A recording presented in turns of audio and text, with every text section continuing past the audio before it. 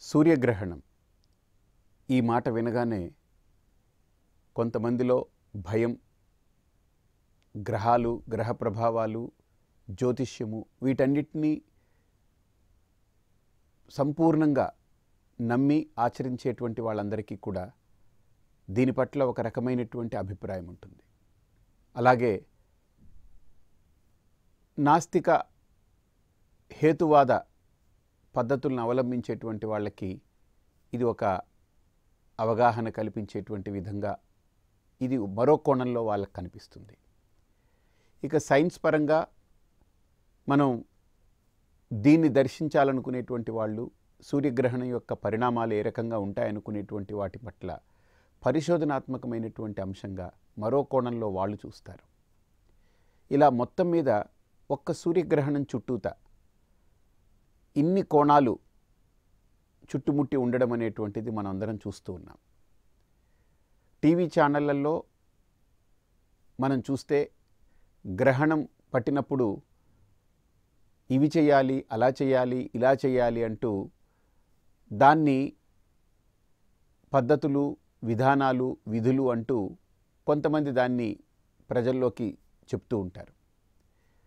కొంతమంది అయితే ఏమీ చేయక్కర్లేదు. గ్రహణం సమయంలో శుభ్రంగా మెదుగో మేము ఉప్మా వండుకొని తిన్నాం మేము అన్నం వండుకొని తింటున్నామని బాహాటంగా బహిరంగంగా వండుకొని తిన్నాం మాకేం జరగలేదని దాన్ని వేరే కోణంలో చూపించే ప్రయత్నం చేసేటువంటి వాళ్ళు కొంతమంది. ఈ వాదనలన్నీ పక్కకు పెడితే వాస్తవం ఏంటి? అసలు గ్రహణం సూర్యుడికా? అసలు గ్రహణం కేతువుకా? ఎవరికి గ్రహణం? ఈ గ్రహణం వల్ల నష్టపోయేది ఎవరు ఈ గ్రహణం వల్ల లాభపడేది ఎవరు ఒకసారి మనం క్లుప్తంగా దీన్ని చూద్దాం. ఈ గ్రహణం వల్ల ఎవరు నష్టపోతారో ఎవరు లాభపడతారో అనేటువంటిది పక్కన పెడితే ఛానళ్ళకి మంచి రేటింగ్ ఇచ్చేటువంటి ఒక మంచి మిఠాయి లాంటి వస్తువుని ఛానళ్ళు కూడా అందిపుచ్చుకుంటాయి. దీని మీద చర్చలు ఉపచర్చలు వాదోపవాదాలు కొంత ఘర్షణలు గ్రహణం జరుగుతున్నంతసేపు ఛానళ్ళకు కూడా గ్రహణం పట్టినట్లు ప్రజలకు కూడా గ్రహణం పట్టినట్లు దీని మీద గ్రహణ చర్చలు జరుగుతూ ఉంటాయి.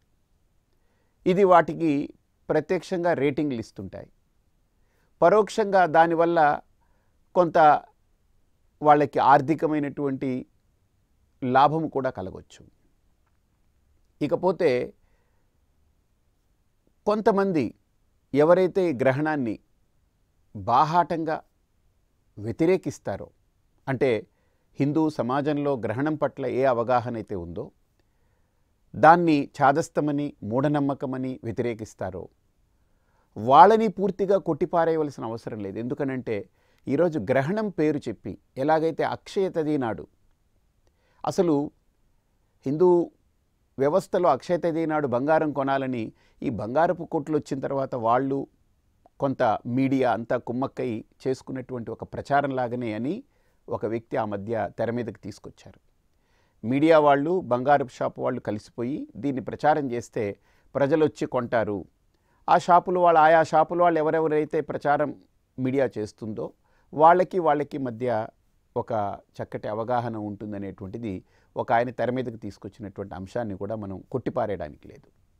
కాబట్టి పండగల్ని వ్యాపారం కింద మార్చేటువంటి దృక్పథం ఏదైతే ఉందో వీటిని మనం చూస్తే సరిగ్గా ఇది కొంతమంది కలిసి తయారు చేసుకునేటువంటి విధంగా ఉంది. వాళ్ళ ఆర్థిక లాభాపేక్ష కోసరంగా దీన్ని కొద్దిగా చించి చాటంత చేసినంత విధానాలు కనపడుతున్నాయి. అలాగే ఈ గ్రహణం సమయంలో కూడా ఈ దానాలు చేయాలి బంగారం ఇచ్చేయాలి వెండి ఇచ్చేయాలి లేకపోతే అలా చేసేయాలి ఇంతింత దానాలు ఇవ్వాలి ఇంతమందికి ఇవ్వాలనేటువంటిది ఈ ఊదరగొట్టినటువంటి విషయం కూడా చాలా లేకపోలేదు. ఈ అతివాదము కూడా గ్రహణం పట్ల ఉంది. నాస్తికవాదం ఒకటైతే అతివాదం కూడా ఉంది. ఈ అతివాదానికి నాస్తికవాదానికి మధ్యలో యథార్థవాదాన్ని వినిపించాలనుకుంటుంది భారత్ టుడే. భారత్ టుడే వేదికగా అసలు గ్రహణం అంటే ఏంటి? గ్రహణం వచ్చినప్పుడు ఏ రకంగా మనం మసులుకోవాలి వ్యవహరించాలి? ఆ గ్రహణము జ్యోతిష్యపరంగా ఎవరెవరి మీద ప్రభావం చూపుతుంది? జా రాసుల రీత్యా నక్షత్రాల రీత్యా? ఇంకా ప్రత్యేకించి గ్రహణ సమయంలో ఈ ప్రకృతి మీద చోటు చేసుకునేటువంటి పరిణామాల గురించి మనం తెలుసుకోవాలి. తెలుసుకోవాల్సినటువంటి ఆవశ్యకత కూడా ఉంది. లేదు అని అంటే దాన్ని మూఢంగా నమ్మడం లేకపోతే మన దగ్గర ఉన్నటువంటి డబ్బుల్ని ఖర్చు పెట్టించడం ఇది ఒక వ్యవస్థ అయితే లేకపోతే ఏ రకంగానూ నమ్మక్కర్లేదు దీన్ని ఏం పాటించక్కర్లేదని మరీ ఈ నాస్తికవాదం వైపు వెళ్ళిన ఈ గ్రహణం యొక్క పరిణామాలు మన మీద పడతాయనేటువంటిది మాత్రమైతే మనం గుర్తుంచుకోవాలి. దీనికి సంబంధించి నేనేదో చెప్తున్నటువంటిది కాకుండా మన శాస్త్రంలో కానీ దీని మీద ప్రయోగాలు జరిగి పేపర్లలో పబ్లిష్ అయినటువంటి అంశాలు కానీ మనం దగ్గర పెట్టి చూస్తే గ్రహణ సమయంలో సూర్యుడికి గ్రహణం ఉండదు. సూర్యుడి సూర్యగ్రహణం అన్ అన్నప్పుడు సూర్యుడికి కాదు గ్రహణం. సూర్యుడు ఉండగా ఏ నీడ అయితే భూమి మీద పడుతుందో సూర్య రశ్మిని భూమికి అడ్డుకుంటూ ఏ నీడ అయితే అడ్డు వస్తుందో మధ్యలో ఆ ఛాయ దాన్ని కేతు అంటాము. అలాగనే రాహు కానీ కేతువు కానీ ఈ నీడలు ఈ ఛాయలు కనుక భూమికి అడ్డు తగిలినప్పుడు సూర్యరశ్మికి దాన్ని సూర్యగ్రహణం అంటాం. అలాగనే రాత్రిపూట చంద్రుడున్నప్పుడు కనుక ఆ నీడ కనుక అడ్డొస్తే దాన్ని చంద్రగ్రహణం అని అంటారు. వాస్తవానికి చంద్రుడికి కానీ సూర్యుడికి కానీ గ్రహణాలు ఉండవు. ఇది భూమికే ఉంటుంది. ఎందుకంటే ఆ నీడ పడేది భూమిపైన ఇప్పుడు నన్ను మీరందరూ చూస్తున్నారు. నా ఎదురుగుండా వెలుతురుంది ఆ వెలుతురు నా మీద పడుతుంది. పడ్డప్పుడు ఆ వెలుతురు స్వచ్ఛమైన వెలుతురైతే నా ముఖం స్వచ్ఛంగా స్వచ్ఛమైన బింబం మీకు కనపడుతుంటుంది. ఇప్పుడు అదే ఆ లైట్కి ఒక బ్లూ రంగు కాగితాన్ని కనుక పెడితే నా ముఖం నీలివర్ణంగా కనపడుతుంది. నీలివర్ణం సత్యమా అసత్యమా? తాత్కాలికమా శాశ్వతమా? దీని ప్రభావాలతో అవతల చూసేవాళ్ళకి కానీ లేదా నా ముఖానికి కానీ జరిగినటువంటి పరివర్తన పరిణామాలు ఖచ్చితంగా దాని యొక్క ప్రభావం చోటు చేసుకుంటుంది. అలాగనే మనకు భూమి మీద పడేటువంటి సూర్యరశ్మికి భూమికి మధ్య ఏ రకమైనటువంటి ఆటంకం లేనప్పుడు భూమిపై సూర్యరశ్మి పడ్డప్పుడు అది యథాతథంగా సహజంగా యథావిధిగా ప్రకృతిలో జరిగిపోయేటువంటి విధి విధానాలను అనుసరించి నడుస్తూ ఉంటుంది. కానీ సూర్యరశ్మికి భూమికి మధ్యలో ఏదైనా ఒక ఛాయ అడ్డొచ్చినప్పుడు అది కేతువు యొక్క ఛాయ అయితే దాన్ని కేతుగ్రస్త సూర్యగ్రహణం అంటారు. లేదా రాహు అయితే రాహుగ్రస్త సూర్యగ్రహణం అంటారు. రాహుగ్రస్త చంద్రగ్రహణం కేతుగ్రస్త చంద్రగ్రహణం అని ఈ రకంగా రాహుకేతువుల యొక్క ఛాయలని భూమి మీద పడుతున్నప్పుడు దాని గ్రహణంగా పరిగణింపబడుతుంది. సో ఈ గ్రహణ పీడ అంటాం దీన్ని. ఈ గ్రహణ పీడలో భూమి మీద వెలుతురుతో పాటు ఒక నీడ కూడా పడుతుంది. ఇది విచిత్రమైనటువంటి సంఘటన. ఆ సంఘటన సమయంలో మనుషులు మనం పక్కకు పెడదాం. ప్రకృతిలో చెట్లు చామలు కానీ జీవరాశులు కానీ కొన్ని అనుభవాలకి విచిత్రమైన అనుభవాలకి లోనవుతూ ఉంటాయి. ఆ సందర్భాల్లో జంతువులు కొంత వేటి స్థానంలో ఉండడమో లేకపోతే అవి విచిత్రంగా అంటే విలక్షణంగా ఉండడమో మనం కనిపించవచ్చు కనిపిస్తుంది. కానీ మనిషికి మాత్రం దీన్ని గ్రహించే శక్తి లేదు. ఎందుకంటే మనం భౌతికంగా మారిపోతూ ఉన్నాం రోజు రోజుకి. అందుకనే మనిషికి శాస్త్రం అనేది చెప్పబడింది. జ్యోతిష శాస్త్రం రీత్యా మనకు ఇరవై ఆరో తేదీ ఉదయం ఎనిమిది గంటల నుంచి ఈ సూర్యగ్రహణం ప్రారంభమవుతుంది. అమావాస్య నాడు మనకు ఈ సూర్యగ్రహణం అనేటువంటిది ఉదయం ఎనిమిది గంటల నుంచి ఇరవై ఆరో తేదీ ఉంటుంది కాబట్టి మధ్యాహ్నం పదకొండు గంటల చిల్లర వరకు ఆ సూర్యగ్రహణం ఏదైతే ఉంటుందో సుమారుగా పదకొండు ఇరవై పూర్తిగా మోక్షకాలం అయ్యే వరకు తీసుకుని ఎనిమిది గంటలకి ముందే స్నానం చేసి గ్రహణ సమయంలో మనం ఎక్కువ ఎవ్వరూ భయపడాల్సిన పని లేదు. చాలామంది ఏమంటారంటే మూలా నక్షత్రం మీద జరుగుతుంది ధనుర్రాశిలో జరుగుతుంది వీళ్ళందరికీ ఇలా అయిపోతుంది అలా అయిపోతుంది అనేటువంటిది చాలా ఊదరగొట్టి భయపెడుతూ ఉంటారు. ఏ భయాలకి లోనవ్వకండి. ఏది జరిగినా మన యొక్క విధి విధానాలకు అనుసరించే there is a super computer అంటే ఒక విశ్వాన్ని నడిపేటువంటి ఒక అనంత శక్తిమైనటు శక్తివంతమైన ఒక కార్మిక వ్యవస్థ ఒకటి ఉంది కర్మ అనేటువంటి ఒక వ్యవస్థ నడిపిస్తుంది ఈ విశ్వాన్ని. ఆ కర్మ వ్యవస్థలో భాగమే ఈ సూర్యగ్రహణం కూడా. సూర్యగ్రహణం వచ్చినప్పుడు ప్రకృతిలో చోటు చేసుకునేటువంటి విలక్షణమైనటువంటి విచిత్రమైనటువంటి పరిణామాల్ని మన పూర్వీకులు కనిపెట్టి ఈ గ్రహణ సమయంలో మనం ఎలా ఉండాలి?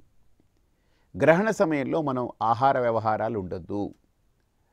అలాగనే గ్రహణ సమయంలో మనం ఎక్కువ మౌనం పాటించడం భగవత్ చింతన భగవద్ ధ్యానం చేయడం ప్రత్యేకించి సూర్యగ్రహణం అన్నప్పుడు కొన్ని మంత్రాలని మనం పఠించడం చంద్రగ్రహణం అన్నప్పుడు కొన్ని ప్రత్యేకమైనటువంటి మంత్రాలని పఠించడం ఇవన్నీ మనకు చెప్పబడింది కాబట్టి సూర్యగ్రహణ సమయంలో సూర్యభగవాను ఆరాధన చేయండి.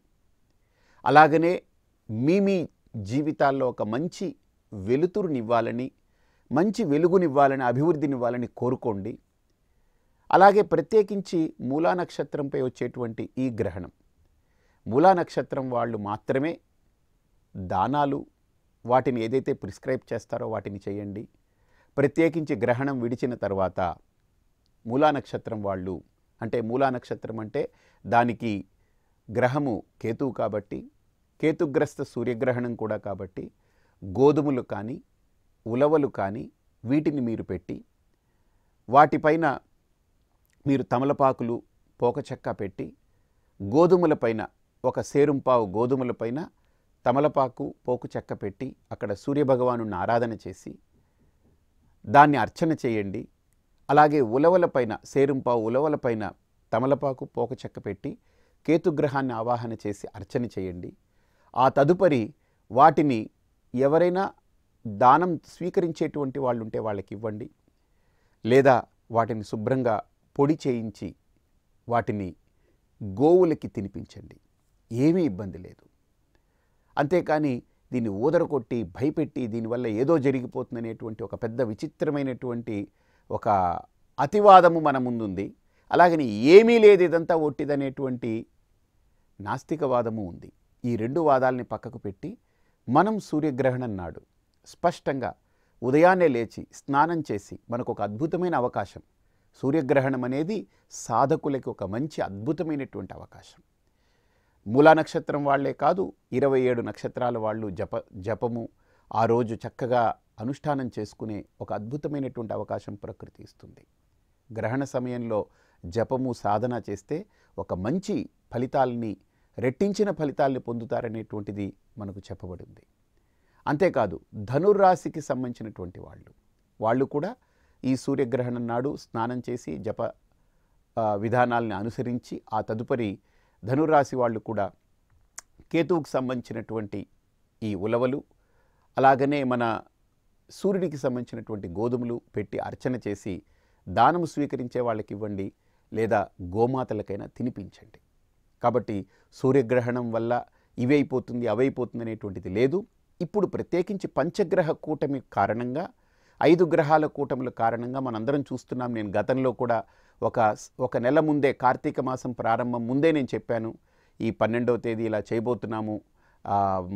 ఒక లక్ష కొబ్బరికాయలతో అభిషేకము లక్ష అరటిపళ్ళతో ఆంజనేయ స్వామి వారికి అర్చన లక్ష పుష్పార్చన లక్ష ఆవు నెయ్యితోటి స్వచ్ఛమైన ఆవు నెయ్యితోటి దీపోత్సవము ఇలాగా ప్రతిదీ మనం చేస్తున్నామని చెప్పి చెప్పడం జరిగింది. పంచగ్రహ కూటమి ఒక్క రెండు రోజులు చంద్రుడు కూడా అక్కడ ఉంటాడు. ఇప్పుడు చంద్రుడు కూడా ప్రవేశించడం జరిగింది. ఈ రెండు రోజులు ఆరు గ్రహాల యొక్క కలయికతోటి ఈ భూమి మీద ఒక విచిత్రమైన సంఘటన ఉంటుంది. అలాగనే ఈ పంచగ్రహ కూటమి అయినప్పటి నుంచి మీరు గమనిస్తే భారతదేశంలో కూడా అల్లర్లు ఇబ్బందులు అలాగనే ఇప్పుడు ఏపీలో కానీ ఇంకో చోట కానీ రకరకాల గందరగోళాలు రకరకాల ఈ రాజకీయ పరిణామాలు ఆ మధ్యలో మనుష్యులు ప్రజలు సమాజం అంతా కూడా కలబోతగా ఒక రకమైన ఒక గందరగోళము సందిగ్ధ స్థితిలో ఉంది. ఈ సందర్భం నుంచి బయటపడడానికి ఖచ్చితంగా మనకు జనవరి పద్నాలుగో తేదీ మకర సంక్రమణం తర్వాత సూర్యుడు పూర్తిగా ఈ ధనుర్రాశి నుంచి మకర రాశిలోకి ప్రవేశిస్తాడు. ఆ తదుపరి శని భగవానుడు కూడా ధనుర్రాశి నుంచి ఇరవై నాలుగో తేదీ మనకు మకర రాశిలోకి స్వక్షేత్రానికి ప్రవేశిస్తాడు. కాబట్టి రెండు వేల ఇరవై సంవత్సరం ఖచ్చితంగా కుజుడు స్వక్షేత్రవర్తి అయి ఉంటాడు గురువు స్వక్షేత్రవర్తి అయి ఉంటాడు శని భగవానుడు స్వక్షేత్రవర్తి అయి ఉంటాడు. అన్నీ మంచి జరుగుతుంది. ఏ రకంగానూ రెండు వేల ఇరవై ఆటంకం కాదు. ఒక అద్భుతమైనటువంటి ప్రత్యేకించి కొన్ని రాశుల వాళ్ళకైతే విపరీతమైన రెట్టించిన ఆత్మవిశ్వాసంతో వాళ్ళు అద్భుతాలు సృష్టిస్తారు అద్భుతాలు సాధిస్తారు. కాబట్టి ధనుర్రాశి వాళ్ళు కూడా ఏమీ బెంగ పెట్టుకోవద్దు మూలా నక్షత్రం వాళ్ళు కూడా ఏమీ బెంగపడద్దు గ్రహణము అని అంటే ఒక రకంగా శుద్ధి జరిగినట్టే. మీ అందరికీ మంచి జరుగుతుంది. ఎవ్వరూ బెంగపడకండి ఎవ్వరూ బాధపడకండి. అలాగని అతివాదం చెప్పినట్లు అక్కడికిక్కడికి పరిగెట్టి అది ఇది అనుకుంటూ పది మంది దగ్గరికి వెళ్ళి పది రకాల మాటలు విని పది రకాల గందరగోళాలకి మీరు తావు ఇవ్వకండి. అలాగే మరీ నాస్తికవాదుల్లాగా ఇది లేదు అది లేదు అది లేదు హాయిగా తినండి తాగండి పడుకోండి శుభ్రంగా తుంగోండి అనేటువంటి విధానాలకి స్వస్తి పలికి మన పూర్వీకులు మనకు చెప్పింది మీరు స్నానం చేయండి గ్రహణం పట్టు స్నానం చేయండి అలాగనే విడుపు స్నానం చేయండి మధ్యలో ఈ మూడు గంటలో రెండు గంటలో వ్యవధి ఏదైతే ఉందో మంచి పారాయణం పెట్టుకోండి ఏ ఆహారం తీసుకోవద్దు ఒకవేళ ఆరోగ్యం బాగులేనటువంటి వాళ్ళు మందులు సేవించాలనుకునేటువంటి వాళ్ళు ఎనిమిది లోపే మీరు ఆహారం తీసుకుని మందులు సేవించి పదకొండు వరకు ఓపిక పట్టి మధ్యలో ఏదైనా అవసరమైతే ఇంకా ఉండలేమనుకుంటే నీళ్ళు తాగండి. లేదా పదకొండున్నరకు స్నానం చేసిన తర్వాత ఆహారాన్ని వండుకొని చక్కగా మీరు తీసుకుని భుజించి హాయిగా సేద తీరచ్చు. కాబట్టి ఒక మూడున్నర గంటల సేపు భగవంతుడితో హాయిగా అనుసంధానమై ఉండగలిగే ఒక అద్భుతమైన అవకాశం ఈ సూర్యగ్రహణం.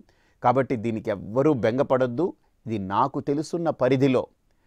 నేనేదో పెద్ద మహామేధావిని మహా చిలికి శాస్త్రాల్ని చిలికి వడపోసి మీ అందరికీ చెప్తున్నాననేటువంటిది కాదు. నాకు తెలుసున్న పరిధిలో పెద్దల దగ్గర నుంచి స్వీకరించినటువంటి అంశాలు కానీ నాకు తెలుసున్న పరిధిలో ఈ గ్రహణం ఎవ్వరికీ హాని చేసేది కాదు హాని తలపెట్టేది కాదు. గ్రహణాలు అనేటువంటివి ప్రకృతిలో అప్పుడప్పుడు చోటు చేసుకునేటువంటి సంఘటనలు. వాటన్నిటికీ మనం బెదిరిపోనక్కర్లేదు. ప్రకృతి మాత మనకు చల్లగా కరుణిస్తుంది. ఈ రెండు వేల ఇరవై ఒక అద్భుతాలు జరుగుతాయి. మంచి మంచి కార్యక్రమాలు సాధిస్తాం. ఒక అద్భుతమైనటువంటి దేశ భవిష్యత్తుకి పునాది పడబోయేటువంటిది ఇర రెండు వేల ఇరవై. మీరు బాగా గమనించండి పెద్ద పెద్ద తాత్వికవేత్తలు పెద్ద పెద్ద దీర్ఘ దర్శనం చేయగలిగినటువంటి వాళ్ళు భవిష్యత్ దర్శనం చేసినటువంటి వాళ్ళందరూ కూడా రెండు వేల ఇరవయో సంవత్సరం ఒక అద్భుతమైనటువంటి సంవత్సరంగా చెప్పడం జరుగుతుంది.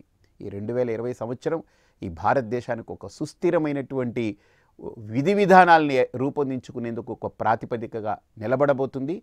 ఈ రెండు వేల ఇరవై ఈ ఈ టూ థౌజండ్ ఈ ఈ మిలీనియం ఏదైతే ఉందో ఈ ఈ శతాబ్ది ఏదైతే ఉందో ఈ శతాబ్దిని ఒక అద్భుతమైనటువంటి శతాబ్దిగా మనం రూపొందించుకోవచ్చు. రెండు వేల సంవత్సరం నుంచి మనకు ఒక అద్భుతమైనటువంటి మార్పులు చోటు చేసుకున్నాయి. అందులో రెండు వేల ఇరవై ఒక మైల్ స్టోన్ని మనం టచ్ అవుతున్నాం. కాబట్టి ఎవ్వరూ దీని గురించి బెంగపడద్దు. బాధపడొద్దు. ఏ రకంగానూ ఇబ్బంది పడాల్సిన పని లేదు.